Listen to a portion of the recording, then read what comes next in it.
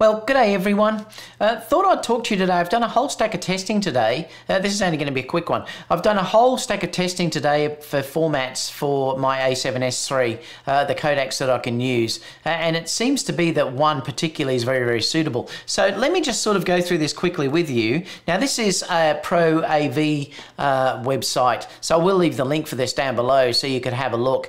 Uh, so there's three sort of major compressions. There's the XAVCS, the XAVC XAVCSI and the XAVCHS. Uh, the problem with this one down the bottom, the XAVCHS, which is uh, the best codec that's available on this camera, it is a H.265 codec, which is way too much for my computer to handle. Now I've got a Mac Pro um, and it's a quite a beefy one, uh, but it is the 2013 model, so I can't complain. I mean, I've had great use out of it, but it can't handle a H.265 uh, format. It just skips all the time, so it's skipping frames, and it will warn you. Final Cut will warn you uh, if it is skipping frames.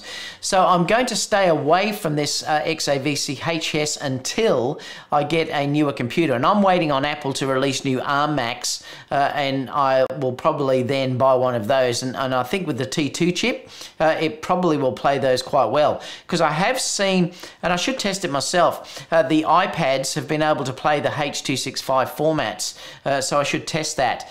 But the one that I'm using is this XAVCSI format. It is a H.264 format, but it's 10-bit 422 uh, and it's uh, 240 megabits per second. It does go up to 600 uh, if you're using things like S&Q or pushing it up uh, in your bit depth. But let me show you through here uh, how to set up uh, what I'm using. Okay, so what I'm doing here is I'm choosing the XAVCSI. And the great thing about this is it's a H.264 uh, uh, format as well, so it's very, very good on your computer. In fact, if you chose this XAVC-HS, the camera actually warns you to say that you have to be in an environment that can edit that type of footage. So it's telling you that it is very, very inten processor intensive. So I use this XAVC-SI. Uh, let me just scroll out of here. And there's two settings that you can use here. There's 25p or 50. Now I can use either one of these and it works great on my computer without any transcoding at all. It's actually really good. Um, and uh, I found there was no skipping of frames or anything. So it's, it's great. And you'll also notice too that down the bottom here, it's saying that this is 250 megabits. It's 422 10 bit. Uh, and let me just come out of this. Um, the S&Q settings, uh, I can also uh, use 50p uh, and 100 frames per second. But with the S&Q settings, I do have to change it to um, ProRes. And so I do have to convert those files over to ProRes.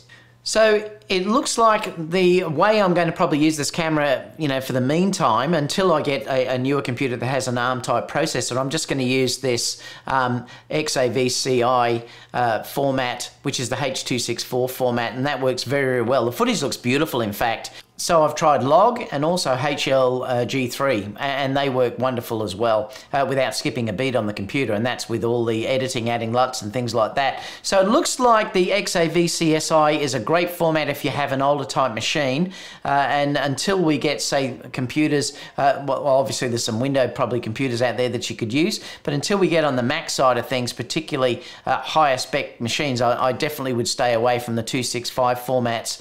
Uh, the 264 seems to work very, very well. And in fact, I was very surprised how well it ran on this computer. Uh, if you have any questions about this, leave that down below uh, and I'll get back to you as soon as possible. And I'll see you all in the next video. Bye for now.